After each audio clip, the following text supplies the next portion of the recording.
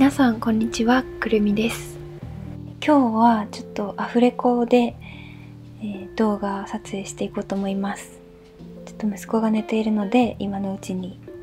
今回たくさんお気に入りのアイテムを紹介したいと思ってるのでちょっとテンポが速いかもしれないんですけどポンポンと紹介していこうと思います。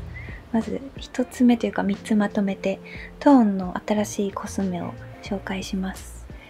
こちらはネイルです。先日ストーリーでアップした時にすごく反響が良かったというか色味を見たいというお声が多かったんですけどこんな感じのオレンジブラウンっぽいカラーで、秋冬にぴったりです。で同じようなリップ同じようなカラーのリップも今つけているんですけど、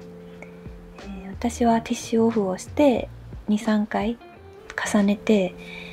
その時の気分で濃いめとか薄めとか調整しながら使っています。でティッシュでオフするとすごく密着してマスクには全然つかないのであのティントタイプではないんですけどこのリップは全然色落ちしないお気に入りのリップです。はい。ちょっと私的にはテンポ早めなんですけど次に進みます。続いてこちらのアイシャドウです。ネイルとリップと同じタイミングで出た新しいものでガラスの小瓶に小瓶、うん、入っています。シルキームースアイシャドウっていう名前なんですけど表面を指でポンポンと触るとすごくプニプニとしていてなんか気持ちがいい感じでこれをまぶたにグラデーションのように私は重ね付けをしてこちらもあの色味を調整しながら塗っています。はいでは続いてはダイアンのあの前髪を押さえるスティックなんですけど私は産後抜け毛の後にちょっと生えてきている生えかけの髪の毛を押さえたりあともみあげの部分をちょっとまとめたりするのに使っています。この使い方はちょっとわからないんですけどあのちょっとまとめるのにすごくいいので最後の仕上げに使いやすくておすすめのスティックです。はいでは続いてレブロンのネイルポリッシュです。こちらのシリーズは比較的新しいのかな。で秋のカラーが出ていたんですけどあのレブロンなんですけど自然由来成分78%の爪に優しいネイルでかなりすぐ乾いて発色も良くて色味がフットにぴったりだなと思ったのでこちらを購入しました。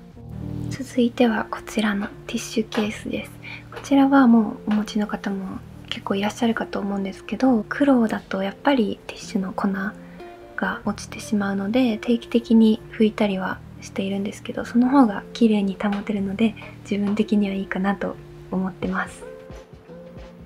はいではこちら本当に買ってよかったなと思っているうがいカップなんですけど水が中から勝手に流れ落ちてくれるので水はきが本当に良くて清潔に保ちやすくステンレスなので洗いやすくてすごくおすすめのうがいカップです、はい、では続いてこちらのエコバッグなんですけど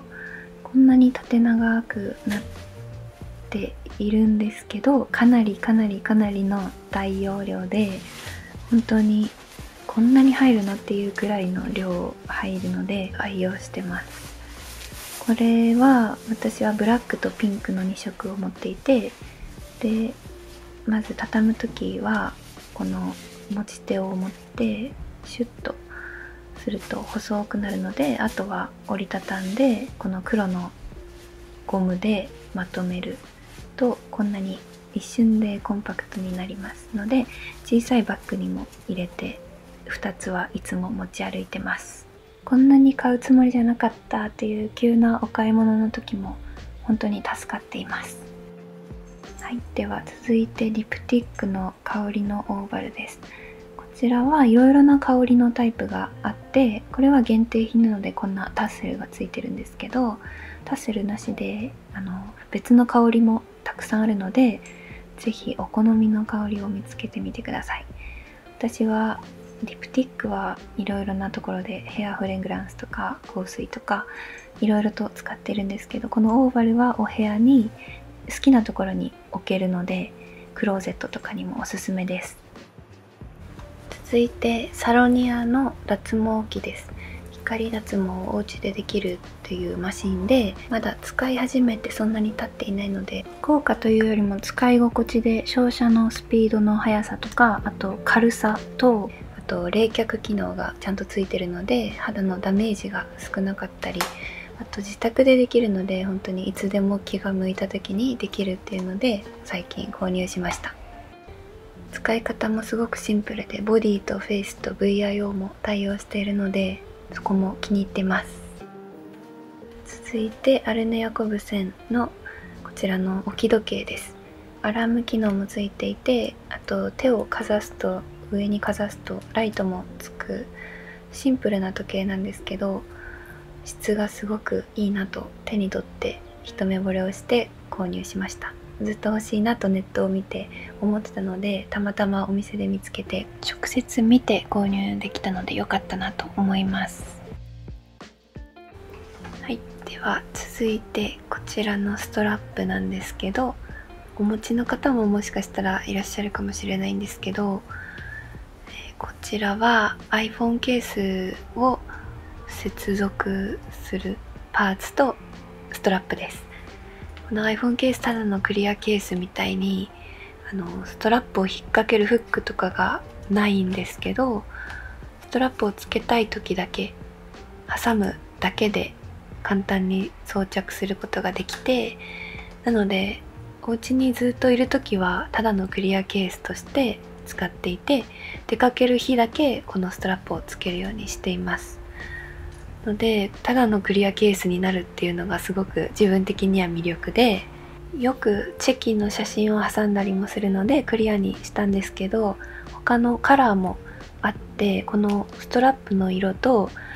フックの金具の色とケースの色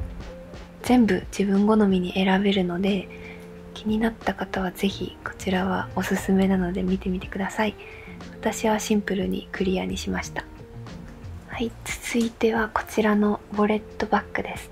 こちらはインスタグラムでは紹介してるんですけど中がお財布になっているタイプのショルダーバッグであのかなり使いやすくてサイズ感もいいしお財布の機能プラスあとハンカチ iPhone とマイバッグエコバッグとか見た目は結構コンパクトだけど私的には満足な量入るので開くとこうやって仕切りとカードホルダーがくっついているタイプでこのチャックの部分に私は小銭を入れています。だいたいこんな使い方なんですけど iPhone を入れてあとエコバッグを入れてハンカチとかもうその日に必要なものリップとかだけ入れてあのベビーバッグとは別にこちらは持っています。どうしても子供が生まれてからはバッグが大きくなるのであのお財布と iPhone を中で必死に探していたんですけどそれがなくなってかなり楽になりました。はいでは続いてこちらトリコテのポーチです。私は母子手帳とかを入れるのに使っているんですけど母子手帳ケースですね。でも普通にポーチなので、まあ、いずれは自分のコスメとかを入れてもいいのかなと思っています。ニット素材なので本当によく入っておすすめです。はい。あとこちらは息子に二十歳の時にプレゼントしようと思って購入して今書いている途中の本なんですけど生まれた時から二十歳まででたくさんメッセージとか身長体重だったりいろいろな記録を書き込みながら写真とかも貼って20歳になった時に渡す、まあ、その頃喜んでくれるかどうかわからないけど、まあ、それもちょっと楽しみながら自分が、まあ、忘れっぽいところもあるのでこういうのに記すことで思い出を振り返りやすいかなと思って購入しました。はい。ではちょっと最後に今日着ているこのボーダーのトップスとピアスを紹介します。トップスは今季のジャーナルスタンダードのボーダーで肩が落ちているところとか袖がすごくゆるっと太めなところこのシルエットが気に入って購入しました。